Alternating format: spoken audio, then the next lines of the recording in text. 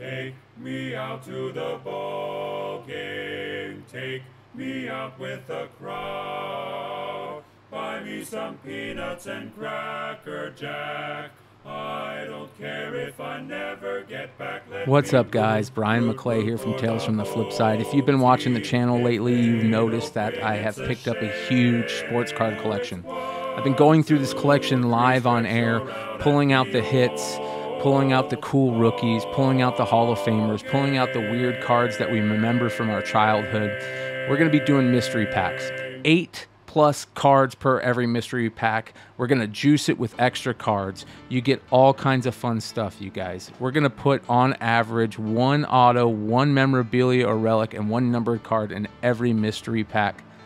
We've got Barry Bonds rookies. We've got Pete Alonso rookies. We've got Ryne Sandberg rookies. We've got Frank Thomas rookies. We've got Tony Gwynn rookies. We've got Ronald Acuna rookies. We've got Wade Boggs rookies. We've got them all. These are cards from a huge collection, as I said, and product I've purchased over the last three years and opened, most of it live on Tales from the Flip Side.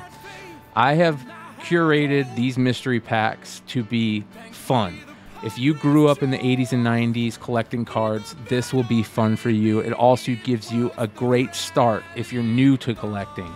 Tons of short prints, tons of refractors, tons of parallels, lots and lots of fun. We're also doing a cool thing. We're randomly inserted. We're going to put the Wonka tickets in. You could win some really cool prizes, and every buyer will have a chance to win a 2022 Topps Jumbo Pack. Condition varies on everything, but I've tried to price accordingly.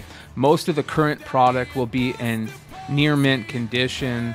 A lot of the older product will be priced accordingly, like I says, if there's any damage. Lots of fun stuff in this, you guys. I put everything in top loaders or card saver ones. The extra juice cards will be in penny sleeves or card savers or top loaders, depending on the card that's in there.